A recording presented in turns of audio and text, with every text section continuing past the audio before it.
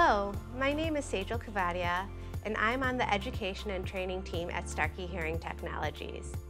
I'm going to show you how to demo the CROS system with the patient while in the Inspire software.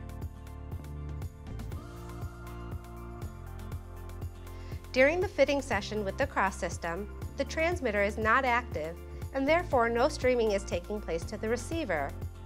Once you have programmed the hearing aids and you are ready to demo the CROS system, click on CROS BiCROS on the left navigation bar.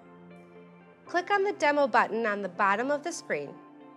This will temporarily disconnect the hearing aids from the fitting session and the streaming will take place from the transmitter to the receiver and the patient will experience the CROS system sound quality.